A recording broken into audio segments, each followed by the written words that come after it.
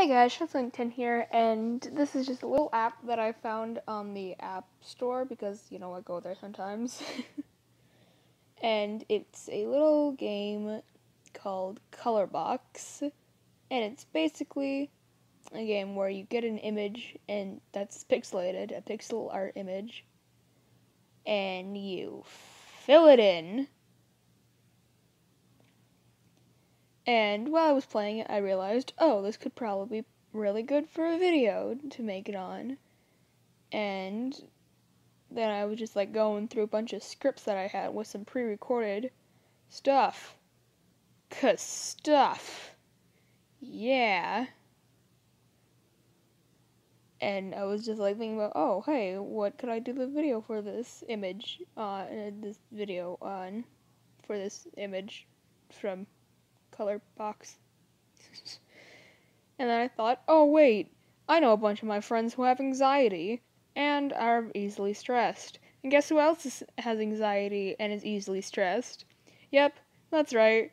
This single potato. This this single wolf-like potato. And this game actually does help with uh, anxiety and stress because I've been stressed all week. I don't know why. It's just my body just decided, let's make her very stressed for no reason at all. There might be some reason that I don't know about, but for all I know, there's just no reason, like at all, that I'm this stressed. But yeah, this little game is really good for people who have stress or anxiety and as you can see, uh, you pick color, and then you it's basically a giant color by number, which I find very relaxing and stuff. So you pick the color, then you go to the squares that are dark that have the number that's on that color, and then you fill them in. You fill them all in. And that's nice and fun and relaxing.